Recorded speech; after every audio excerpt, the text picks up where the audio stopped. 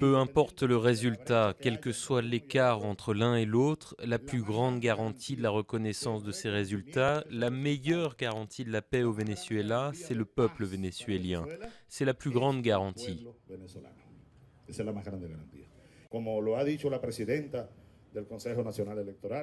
Comme a dit la présidente du Conseil national électoral et comme l'ont dit certains responsables, lorsque les résultats officiels seront annoncés, c'est parce que ces résultats seront déjà irréversibles. Je pense que c'est vrai, mais personne ne doit exagérer, personne ne doit aller plus vite que la musique ou manipuler.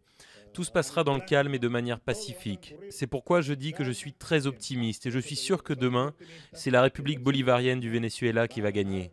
la República Bolivariana de Venezuela. Y nosotros siempre insistimos en que este es un país maduro, un país democrático.